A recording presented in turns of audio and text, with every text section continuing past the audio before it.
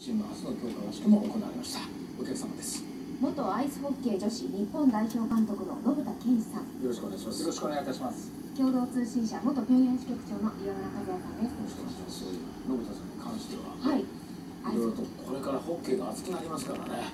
我々もいろいろとお話を伺いたいんですけれども。はい、信田さんはアイスホッケーの名門国土計画のゴールキーパーとして活躍されていて日本代表にも選ばれていました。うんそして指導者としては男子の代表ですとか女子の日本代表監督を務めてこられて現在はパラリンピックのアイスホッケー日本代表コーチそして中央大学のコーチも務めていらっしゃいます。ここへ来て直人さんにわかにはい。女子のアイスホッケーがかなり注目されてるんですそうですね。いろんな意味で注目されてきましたね。ええ。でもどうなんですか？今回スウェーデン戦もね、はい。あの伺いますけれどもいわゆる急にチームを組むことってやっぱり難しいですよねかなり難しいことだと思いますし、選手たちの気持ちも非常にあの複雑な気持ちで、え練習してるんですね。ね。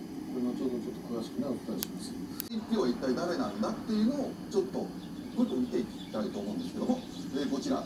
わずか2票高輪の間から秋田に隠れ高野花派はそして票の動きはこれまで我々とも水木金と大隅さん大概票読みをしてこの人は高野花親方に入れるぞなんていうのをやったんですけどはっきりとほぼ外れですよもう認めざるを得ない大隅さんもいやその親方間違いないって言ってた人もこれ高野花親方に入れてないんでちょっとその辺を検証さあそれは誰かとい。うとおそらくこの人だろうということですね、高砂一門から陣幕親方が高野花親方に一票入れたんじゃないかと。はい。もともと高砂一門ですからうん。八角理事長に入れるべき方なんですよね、うん。じゃあなぜかというと、うん。